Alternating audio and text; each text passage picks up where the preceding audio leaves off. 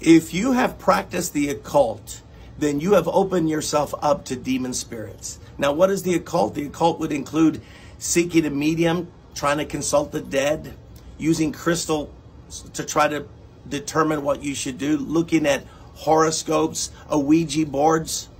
It would be uh, anything that is forbidden by God in the Bible.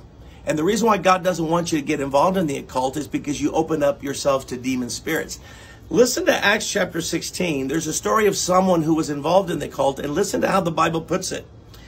Acts 16, verse 16. Once we were going to a place of prayer, we were met by a female slave who had a spirit by which she predicted the future. She earned a great deal of money for her owners by fortune telling. See, mediums, fortune tellers, palm readings, tarot cards.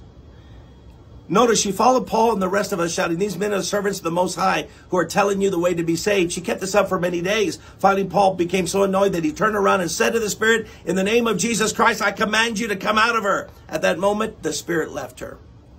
So we see that it was an evil spirit that was moving on her. Now, you might say to me, isn't it, why is Paul disturbed that she's telling people, listen to the, these men. They're telling you the, the way of God. They're telling you the true way.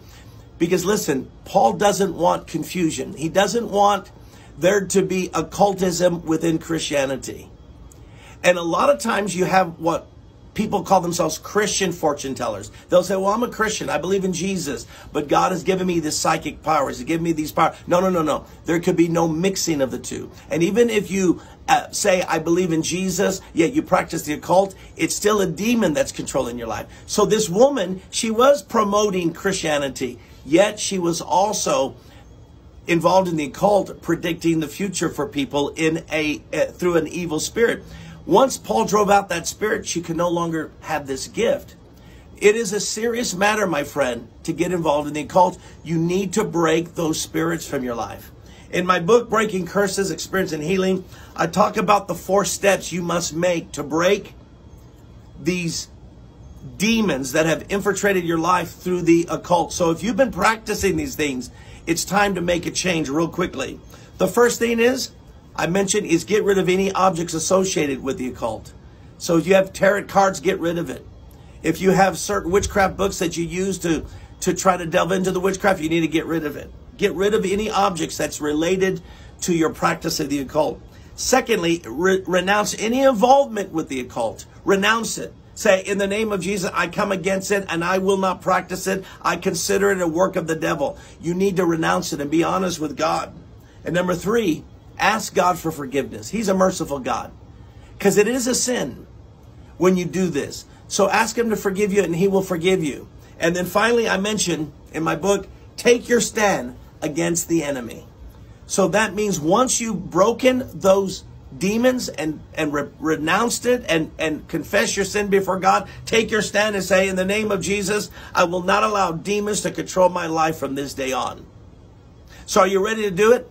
Pray this prayer with me. Say, in the name of Jesus, I renounce all involvement with the occult. I renounce, and now specify the things you renounce. Like if you went to a medium, if you've been looking at horoscopes, whatever you're doing, say, say, I renounce those things. Now, be specific. Go ahead. Go ahead. And I ask you to forgive me, Father, for all of my sins. Cleanse me from all unrighteousness and I take a stand against Satan and I order him and all of his demons to get out of my life and the life of my family in Jesus' name. Amen. And I hope you get my book on breaking curses, experiencing healing.